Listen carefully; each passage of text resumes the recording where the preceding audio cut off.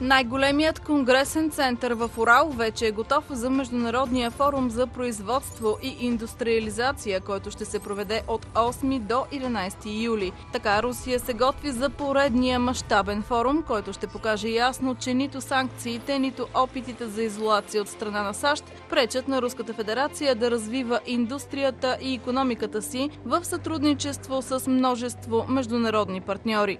Провеждането на Международния форум за производство и индустриализация в Русия подчертава важната роля на нашата страна в обновлението на световната економика и укрепването на международното сътрудничество на прага на четвъртата индустриална революция, коментира заместник-председателя на правителството на Руската федерация и председател на Организационния комитет Дмитрий Козак. На форума се очаква да пристигнат около 2000 души, в това число 500 чуждестранни и руски журналисти. В него ще участват президенти и премиери, отраслови министри от над 10 страни, също ръководители на крупни международни компании.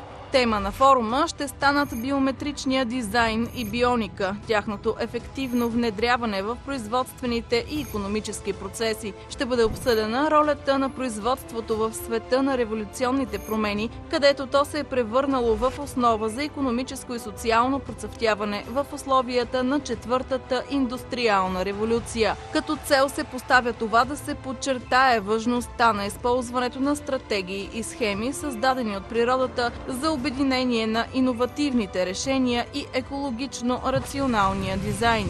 Не бива да се забравя, че зад организацията на този форум стои и Организацията на ООН по промишлено развитие. За провеждането на международното събитие вече е приведен в готовност Конгресния център Екатеринбург Експо, който ще стане основна площадка на събитието. Конгресният център е с обща площ около 42 000 квадратни метра.